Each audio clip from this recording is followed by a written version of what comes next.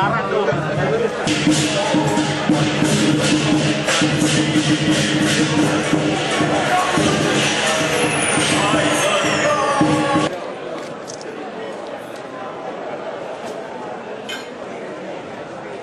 Salam mesra daripada PDR Melaka. Tuan Yang Terutama Tun Datuk Seri Utama Muhammad Khalid bin Yaakob, Yang Berhormat Ahli-Ahli Dewan Undangan Di kesempatan ini juga kami panggilkan hormat sekalian.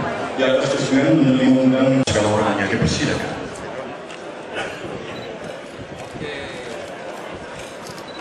Makluman hadirin sekalian, mengikut kepercayaan masyarakat Cina, melambung hisang ini adalah sebahagian tanda permulanya tahun baru dan masyarakat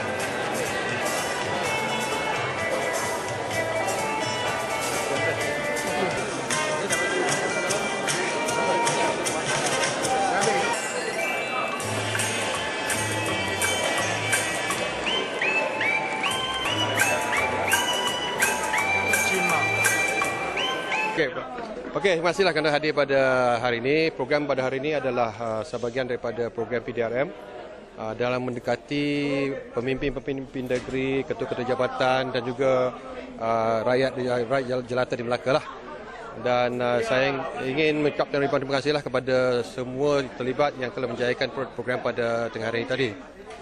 Uh, benda ni uh, program rumah terbuka Hari Raya Cina ni memang diadakan di IPK Melaka setiap tahun sejak saya uh, menerajui lah PDRM di, di Melaka ini dan kami akan teruskan lah walaupun mungkin selepas saya uh, ditukarkan tempat lain. Dan bukan saja Hari Raya Cina tapi juga untuk perayaan yang lain uh, seperti Hari Raya Aidilfitri dan juga untuk uh, perayaan Deepavali. Ya. Jadi uh, program rumah terbuka itu memang uh, sangat-sangat uh, digalakkanlah untuk mengembalikan